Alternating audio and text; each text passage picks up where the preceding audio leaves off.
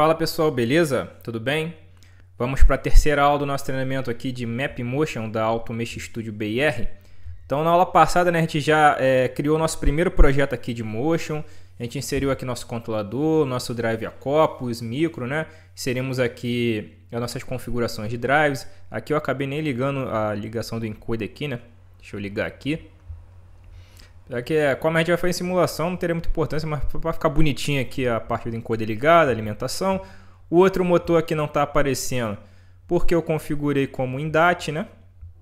Na verdade, até esse aqui eu também configurei como INDAT, então é, ele faria o reconhecimento automático depois que eu ligasse. Mas fica aqui só para representar graficamente para a gente é, tudo que a gente tem aqui, beleza? Então, recapitulando o que a gente fez, né? A gente fez aqui uma configuração no Configuration View do nosso é, Map Motion. Inserimos aqui uma configuração de eixo. Nessa configuração de eixo temos dois eixos aqui, que eu deixei o nome padrão, né, que é o GX61 e 2. E aí um a gente configurou, vamos abrir aqui. Um a gente configurou como é, movimento rotativo, né, rotativo infinito, com essa resolução aqui. É, direção standard, né? E aqui a gente tem é, velocidade, no caso ele usa aqui a, a, a, unidade de medida por segundo. Então a unidade de medida aqui é degrees, então seria 10 graus por segundo. Aceleração de 50 graus por segundo ao quadrado, desaceleração é 50 graus por segundo ao quadrado. E habilitamos aqui o, o MapX para ver os alarmes dele. O segundo eixo aqui a gente deixou como linear bounded, ou seja, linear delimitado. Unidade de medida em milímetros e aqui temos um, um lower é, de zero, lower limite de zero e upper limite de 500, então seria é, 0 milímetros, 500 milímetros, ok? Por cada unidade de medida, né? E aqui também, né, é, velocidade 10 milímetros por segundo, aceleração e desaceleração 50 milímetros por segundo ao quadrado, tá bom? Isso aqui eu não habilitei o alarme não, mas só pra, isso aqui é só para a gente testar. O que, que a gente vai ver nessa aula agora? A gente vai ver agora a interface de comissionamento para esse cara, beleza? A interface de comissionamento aqui é feita via web, tá? Então eu vou utilizar mais um componente do Map View. Na verdade, eu vou utilizar dois componentes do Map, tá? É, o Map é, Cockpit, que é propriamente dita a interface de comissionamento, porém o Map Cockpit que não é só em comissionamento, tá? Ele também serve para diagnóstico e para outras coisas. Mas assim, é, ele basicamente ele vai comissionar os nossos drives com ele. Só que esse cara trabalha junto com o MapView, que é o map lá que é, é utilizado para poder criar visualizações, né? Para criar IHMs, sistema de telas aqui. Isso depois a gente vai ter um treinamento específico do MapView, tá? Então agora a gente vai ver, é, a gente vai habilitar ele aqui, mas não vamos utilizá-lo. E assim, é, um detalhe muito importante que a gente precisa saber. O map, é, o map cockpit, para funcionar do jeito que eu vou falar para vocês aqui, é importante que você tenha a versão acima do 5.19, tá? A gente não vai ter problema com isso, por quê? Vamos, vamos relembrar aqui. Porque eu pedi para vocês baixarem, eu espero que vocês tenham baixado, que vocês tenham instalado aí. A gente está na versão 5.23 do map. Então, se eu abrir aqui o cockpit, ó, eu baixei a versão 5.23. Ele vem com a 16, tá vendo? Então, é, essa 16 aqui já não ia funcionar é, com as funcionalidades que eu vou colocar agora aqui com a gente. Então ele tem que estar tá com a 523. Eu posso vir aqui habilitar ele aqui. Poderia também habilitar o Map View aqui. Ó, você está vendo que o Map Vision quer dizer, né? É Map View. Aqui eu poderia habilitar o Map View aqui. Mas é, ele vai fazer isso automaticamente para mim, tá? Vamos fazer a configuração agora do Map Cockpit para a gente testar. Então como é que eu faço isso? Eu venho aqui dentro da aba Configuration View, é, eu tenho aqui a parte do Motion, né? E eu vou procurar aqui, ó, Map Cockpit. Tá vendo? É uma pastinha também. E esse Map Cockpit ele tá vazio. Assim como também tem o Map View aqui, né? Ele também tá vazio.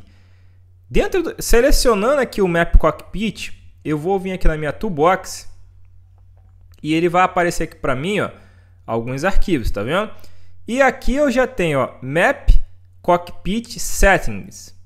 É esse cara aqui que a gente vai adicionar para poder configurar. Quando eu adicionar esse cara, o que, que ele vai fazer? Ele vai adicionar para mim a biblioteca do Map Cockpit, ele vai adicionar a biblioteca do Map View E ele vai ligar o servidor APC-UA, tá? Porque a troca de dados aqui entre o controlador, os dados do controlador com o servidor web, lá com, com as aplicações do Map, é feita através de APC-UA. Isso não só para o Map Cockpit, tá? Para o Map View também. Quando a gente fizer o treinamento de Map View, a gente vai ver isso. Eu vou dar um duplo clique aqui nesse cara e ele vai inserir esse cara aqui, ele vai fazer as configurações para mim. É só aguardar um pouquinho agora.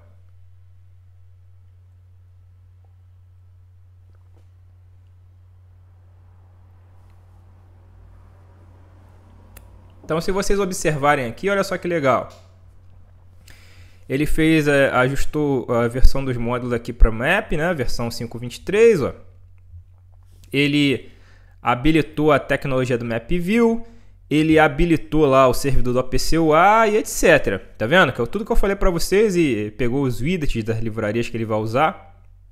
Então agora eu tenho habilitado já no meu projeto, ó, se eu for aqui no Project, novamente Change Runtime Version, a gente consegue visualizar agora que agora eu tenho habilitado aqui também o Map Motion, né, que já estava, o Map Cockpit e o Map View, tá? Então você viu que eu não, eu não vim aqui manualmente liguei. Quando eu inseri aqui os objetos, automaticamente ele já liga quem tem que ligar já puxa a última versão.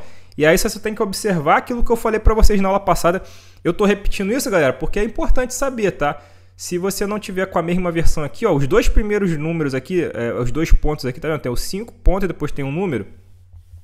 Essas duas primeiras numerações aqui, elas têm que bater. Então, se o meu map mostrar na 5.23, todos os outros maps que eu usar aqui no meu projeto, eles precisam ser também 5.23. O último ponto aqui não importa, tá? Mas os dois primeiros aqui importam. Então, você vê que todos eles estão na mesma versão. Se você tentar botar uma versão diferente aqui, dá um erro, tá bom? Então, ok, beleza. E agora vamos ver aqui o nosso arquivo de configuração do Map Cockpit, a nossa interface de comissionamento. Vou clicar nele e basicamente aqui, galera, o que, que eu tenho aqui? Ó? Deixa eu diminuir aqui. Eu tenho aqui é, a opção de HM habilitada, True. Aqui ele diz para mim que para mim acessar essa interface, é, eu vou abrir o Google Chrome, tá? E eu vou digitar esse cara aqui, ó, http dois pontos barra barra o IP do meu dispositivo, dois pontos a porta 80 84 barra map cockpit barra index.html. Então é esse cara que eu vou usar para acessar. Como eu estou aqui na minha máquina local, né, está falando tudo em modo simulação, aqui eu vou usar o IP de loopback, que é o 127.0.0.1. Se fosse dentro de um equipamento físico, lá um, um CLP, um PC industrial, um Power Panel, aqui no lugar do, do PLC é, IP, eu botaria o IP do equipamento. Ou pode ser um hostname também, se você tiver uma aplicação aí, uma, uma infraestrutura aí, onde você tem um servidor DNS aí, mas é, normalmente a gente vai botar o IP aqui do equipamento, tá? É, e a outra coisa que você configura aqui é o direito de acesso. Nesse primeiro momento aqui, ele vem como administrador. Porém, eu não tenho, eu não tenho é, criado aqui login de usuário, né, para poder fazer esse acesso. Então, o que eu vou fazer? Eu vou botar everyone, qualquer um, só para a gente poder é, iniciar nossas práticas. Depois a gente vai ver como é que cria um usuário aqui para você poder acessar isso como administrador, tá? Mas por enquanto eu vou deixar aqui o everyone, é, que qualquer um que tiver o um endereço aqui ele vai poder acessar, tá? Isso não é recomendado, não aconselho vocês deixar assim quando você fizer o projeto final, mas só para a gente não ficar tendo que logar aqui, eu não, eu não ter que criar usuário nessa aula aqui agora, a gente vai fazer assim a princípio. Mas depois eu vou fazer uma aula explicando como é que você cria o usuário. Então vamos lá, uma vez que eu fiz isso, o que eu vou fazer agora? Vou salvar aqui, né? É, eu vou ligar aqui, é, vou ativar minha simulação para poder habilitar aqui para a gente poder descarregar. E eu vou fazer, eu vou descarregar essa configuração para dentro do meu controlador virtual aqui para a gente poder acessar. Então aqui o meu R5 está em RUM. Quando eu costumo fazer isso aqui a primeira vez, o que, que eu gosto de fazer? Não, não só a primeira vez, toda vez que eu estou trabalhando com simulador, até uma dica que eu vou deixar para vocês, que essa dica é interessante que é, para vocês estiverem estudando aí vai ser útil. O seu simulador ele roda por duas horas aqui, tá? Depois ele cai. Então o que, que eu faço toda vez que eu crio, que eu vou descarregar? Em vez de eu vir aqui, mandar compilar né, e descarregar, fazer um transfer, é, eu costumo ah, fazer uma instalação offline que, que seria isso? Se eu vier aqui na toolbar, é, mandar adicionar botões, eu posso vir aqui, ó. Cadê o build? E botar esse cara aqui, ó. offline instalação para aparecer. Ele vai ficar aparecendo aqui, tá vendo? Do lado do transfer. Beleza? Por que isso aqui? Esse carinha aqui, toda vez que eu faço uma instalação offline, ele reinicia o meu simulador. Então, às vezes, já está trabalhando aí com o simulador, já tem uma meia hora, uma hora, aí ele já está passando o tempo para desligar, né? Aí você fez uma alteração no projeto, você quer testar, e você vai lá e transfere. Se você transferir aqui normal, o seu simulador ele continua com aquele tempo que estava e depois vai, vai desligar. Se você fizer uma instalação offline com ele, com ele habilitado, com a simulação habilitada, ele vai, reinici... ele vai fazer a instalação, vai, vai, vai fazer a instalação da sua aplicação e depois vai reiniciar o seu simulador. Tá? Então já vai voltar o tempo né, para duas horas de novo. Então eu costumo fazer esse cara aqui, tá? Eu clico nele e ele vai construir como se construísse aqui uma aplicação do CLP do zero e vai fazer para mim aqui a, a instalação. Então eu vou aguardar aqui. Então quando eu trabalho com simulador, eu gosto de trabalhar com isso. Tem que estar tá com ele online, tá? Que se você fizer isso com ele offline, ele vai criar uma pasta aqui no seu PC, né, para poder salvar essa configuração offline. Beleza? Então essa instalação offline aí eu gosto de fazer assim, só por esse fato. Eu sei que agora eu acabei de iniciar o simulador, ele não está não tá com tempo estourado, mas eu estou mostrando para vocês só uma dica que fica aqui, né? caso vocês estejam fazendo, porque isso pode te ajudar aí a, a evitar que a sua aplicação ela fique reiniciando. Então deixa ele, ele está compilando, ele faz toda aquela parte de compilação e depois é, transfere aqui, instala aqui no seu, no seu target, né? Então vamos aguardar um pouquinho.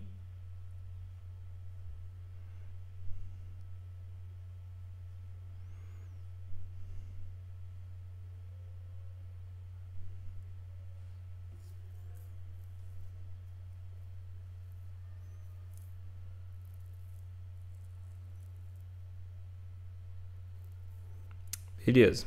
Aí agora criar uma, instala uma instalação, uma instalação local, né?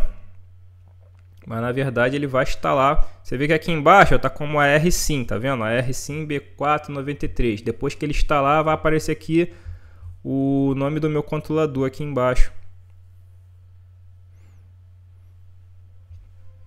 Aqui, ó, não tem não tem nada configurado ainda. É a primeira vez que eu estou descarregando aqui, né? Então eu vou dar um close e ele vai é, reiniciar aqui o meu simulador e a gente vai estar tá com a configuração habilitada lá nele. É, essas alterações, todas, todas essas modificações que a gente fez aqui. Beleza? Não deixa ele iniciar aqui. Aqui, ó. Beleza. Agora você repara que aqui em RAM, tá vendo? Agora aparece o nome da CP, ó, o nome do X20 CP1584. Agora aparece aqui, eu já tô com ele aqui, ó. Já consigo botar online, tá vendo? E monitorar. Então, como é que eu faço para acessar agora essa interface de comunicação, né? Essa interface aqui do essa interface aqui agora do cockpit. Então vamos lá, uma vez que a gente já tem tudo aqui já descarregado para dentro da nossa CPU, agora a gente vai acessar a plataforma. A gente pode acessar usando esse endereço aqui no navegador, ou você pode vir aqui em Tools, tá? E aqui você tem, ó, Map Cockpit, ok? Da mesma forma que você tem o SDM, né? Para quem já fez o meu, tá fazendo lá a playlist do Automate Studio que eu mostrei o SDM, você tem aqui o Map Cockpit. Então, se você clicar nele, ele vai abrir um atalho para você no navegador e vai abrir o seu navegador web diretamente, tá? Como a gente colocou aqui o usuário Everrun, né, que é para qualquer um, eu não preciso logar. Então aqui, ó, ele tá, eu não preciso fazer login para poder ter os acessos, ok?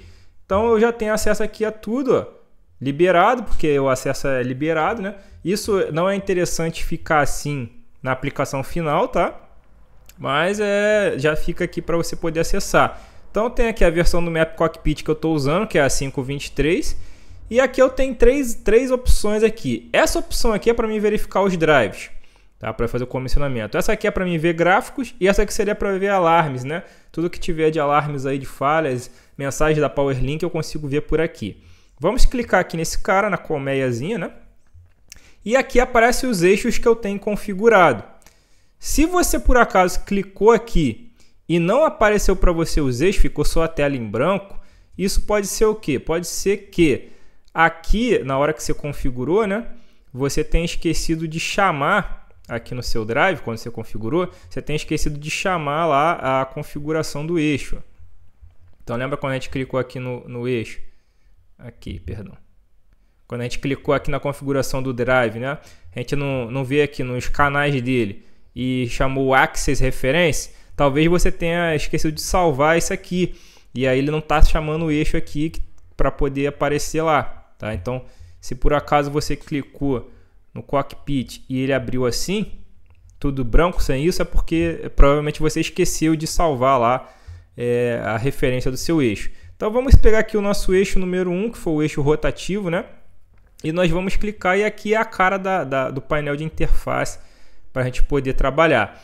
Então o que, que acontece aqui? Vamos, vamos entender o que, que é cada campo. Aqui eu tenho os comandos, aqui eu tenho uma tabela de Watt e aqui eu tenho uma tabela de configuração. Beleza? E aqui embaixo eu tenho mensagens também, algumas coisas assim. É... O que, que a gente tem que observar para poder começar a trabalhar? A gente tem que observar os status do drive, ok? Então a primeira coisa que a gente verifica aqui quando a gente tem um drive para poder começar é para você startar um servo drive, né, é um pouco diferente de startar um inversor de frequência. Então eu preciso que o meu drive ele esteja habilitado, que ele esteja ligado, é, e depois eu tenho que estar tá com ele referenciado para que eu possa iniciar os comandos, seja lá um comando de velocidade, posição, não importa. Beleza? Então, é, a Watch aqui ela já traz para a gente algumas infor informações importantes sobre é, questão de comunicação do drive. Aqui eu tenho dois parâmetros, ó, o Communication Read e o Read for Power On. Para que você confira que esteja tudo correto, por exemplo, que o meu, meu controlador ele conseguiu se comunicar com o drive, por exemplo, essa opção de Communication Read, ela tem que estar tá verdadeiro. Se ela tiver falso, existe algum problema na comunicação do seu CLP, do seu controlador com o seu servo drive, ok? E o Read for Power On. Read for Power On, isso também indica que está tudo ok. Você está com tensão de alimentação, você não está com falha de temperatura, você está com nenhum tipo de falha no drive e ele está pronto para ligar, tá?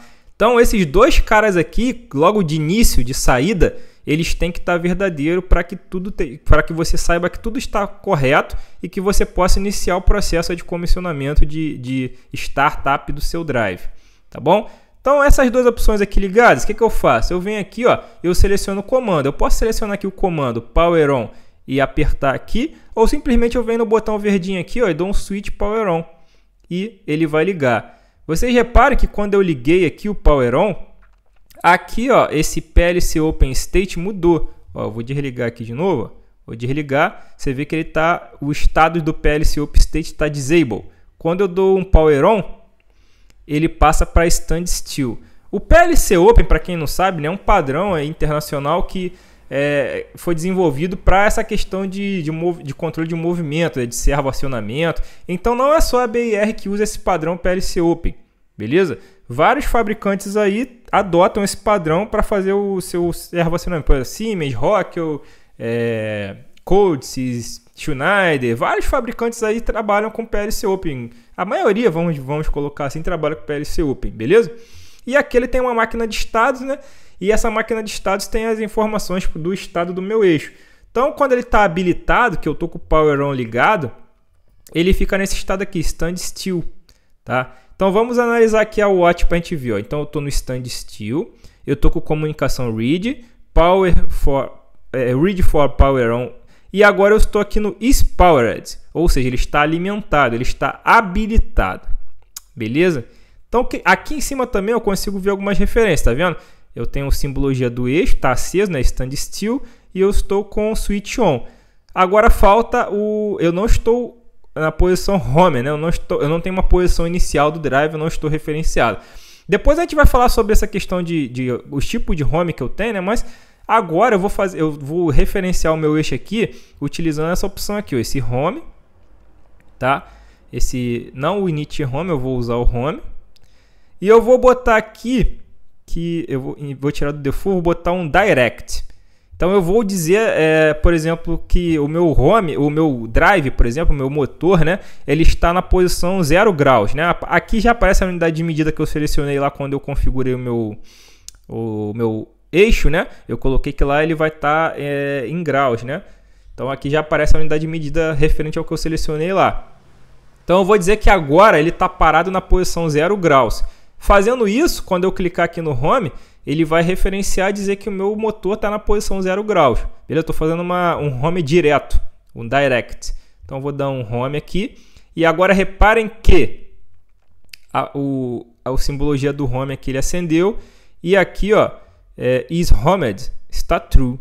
Então agora eu tenho tudo que eu preciso para poder movimentar o meu eixo. Legal? Show de bola, né? Então você vê que aqui eu tenho os comandos e ó, tem vários comandos aqui. E agora vamos verificar quais são os comandos que eu posso. Eu vou pegar os três principais aqui, tá? Quais são os três principais comandos que a gente tem na maioria é, das aplicações de motion aí? Isso independe do fabricante. Você tem lá o Move Velocity, então o Move Velocity faz o quê? O Move Velocity ele é, vai mover o eixo em velocidade, né? Vai só fazer movimentação de velocidade. Você tem o Move Absolute, que a gente está tratando já de posicionamento, tá? Posição absoluta. E eu tenho Move Additive, que é a gente também trata de posição, mas aí é uma posição, vamos botar assim, incremental, né? Seria mais um, uma distância para percorrer. Então eu vou primeiro vir aqui no, no Move Velocity ok? Aqui ele vai setar, ó, por padrão aqui, ele está setando uma velocidade de 2 graus por segundo e eu tenho a minha aceleração e desaceleração aqui 10 graus por segundo. Aí você pode lembrar do que, que a gente configurou lá, né? Se eu não me engano, a velocidade máxima que a gente botou lá foi 10, mas eu vou dar um, um, um Move Velocity aqui com esse jeito. Como a gente fez uma aplicação, uma aplicação rotativa infinita, né? Ele vai ficar girando direto aqui então aqui a gente vai poder ver ó, a posição dele incrementando. Vai ficar incrementando direto, né? Porque a gente botou como se fosse lá uma esteira infinita que fica rodando direto. Só que a velocidade aqui vai se manter nessa velocidade que eu setei, que eu posso alterar se eu quiser, tá? Posso botar, sei lá, 4.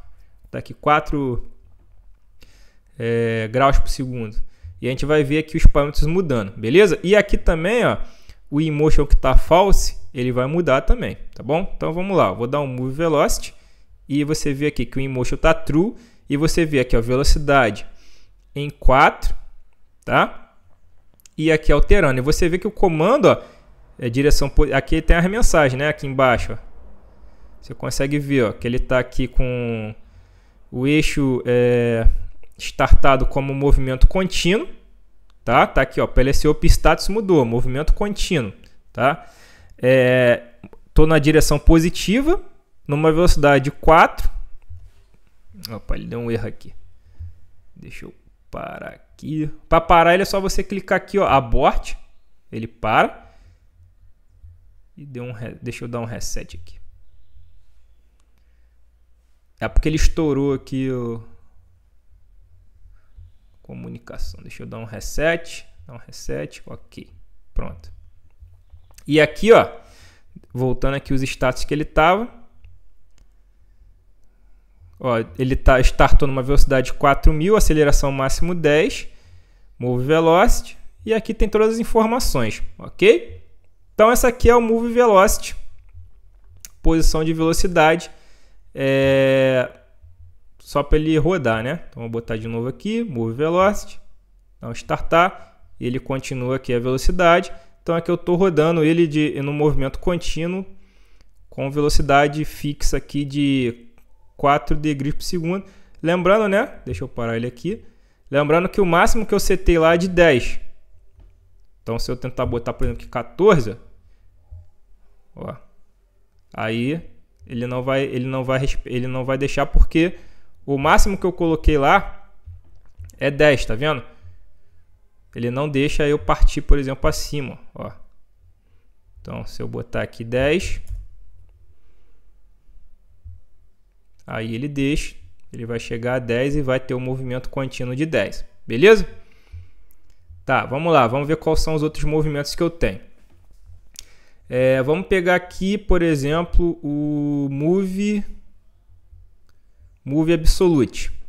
Move Absolute, né? O que, que ele vai fazer? Eu vou ter que dar um posicionamento para ele e ele vai se direcionar para aquela posição. Por exemplo, agora ele está na posição aqui 271.19. Então vamos supor que eu quero que ele vá para a posição 150 e vou dar um Enter. Aí ele está com a velocidade aqui de 2 graus por segundo, aceleração e desaceleração. Vou dar um move. E vocês reparem que agora ele está com uma velocidade negativa, né? Então quer dizer que ele está fazendo o motor girar por sentido anti-horário. No caso, ele estava rodando sentido horário. E ele vai ficar buscando aqui a posição que eu coloquei, porque aqui é um, é um movimento absoluto. Então ele vai pegar da posição que ele está e vai tentar achar, né? Vai tentar não, ele vai achar a posição que eu coloquei. Acho que eu botei, tá bem longe, né? Deixa eu, deixa eu aumentar a velocidade aqui, calma aí. Vai demorar muito. Tá aqui 5 graus por segundo. Ele vai aumentar a velocidade. E ele vai achar lá, né, quando ele chegar aqui no 150, ele vai parar porque ele vai ter encontrado a posição dele lá, que é a posição que eu referenciei aqui. Ó. Legal, tá vendo? Chegou na posição, ele, ele corta o movimento, ele para, tá? Então esse aqui é o move absoluto. Qualquer posição que eu botar aqui, ele vai, vai pegar a posição atual dele e vai encontrar a posição. E qual é a diferença para o move aditivo? O move aditivo eu não vou colocar uma posição. Então, por exemplo, se eu vier aqui dizer que eu quero andar mais 10 aqui, ele não vai para a posição 10. Tá? Ele está na posição de 150 aqui. Ele não vai para a posição 10, ele vai incrementar mais 10. Então eu estou em 150, ele vai para a posição 160, olha só. Está com a velocidade aqui de 2, né? E ele está incrementando. Tá vendo? Chegou na 160, ele para. Tá? Então, se eu botar aqui menos 20, ó, ele vai descer, no caso, é, 20 graus para a posição contrária, né? Então, ele vai para 140. Tá vendo? Então, na verdade, aqui é um incremento, né? Normalmente a gente usa mais o Move Absolute, né? Posição absoluta com servo acionamento, mas pode ser que tenha uma aplicação que você use aí o Move Aditivo também, tá? Então esses tem outros aqui, tem Gear, tem outros movimentos aqui, mas eu não vou tratar disso agora, controle de torque e tal.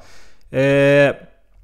Tô falando só dos três primeiros aqui, porque a intenção era mais a gente conhecer a interface, tá? Então eu tô aqui no eixo 1, eu posso vir aqui, ó. Deixa eu parar ele aqui, né? eu posso vir aqui e buscar o eixo 2 também. O eixo 2 ele já estaria, ele não estaria em ele não estaria em graus, né, nem em rotação, porque aqui é um movimento linear, mas eu teria que fazer o mesmo procedimento, tá vendo? Então você vem aqui dar um power on, ó, ele tá communication ready e power on ready. Então dou power on para poder ligar, ele vai para stand still. Vou fazer um home para ele aqui, vou fazer um, um direct também só para a gente deixar ele referenciado. E aí, por exemplo, eu posso é, fazer um move velocity. Vou botar aqui, vou dar um, um partir. Tá? Lembrando que esse cara aqui, né, ele tem aquelas aquelas limitações, tá? Então ele não vai direto porque ele vai chegar lá até, se eu não me engano, foi 500 milímetros, né, que eu botei, e ele vai cortar lá é, pela posição de 500 milímetros, tá bom? Mas tá aqui, aqui ele tá, aqui a unidade é milímetros, não é graus. Fica aí para vocês. É, como exercício aí eu deixo para vocês habilitem a função do Map Cockpit e façam seus testes aí, tá? A gente vai explorar bastante essa ferramenta aqui. Isso aqui foi apenas o contato inicial da, da, da gente com a plataforma, com a, a, interface de comissionamento. E a gente vai ver muita coisa ainda daqui para frente, tá?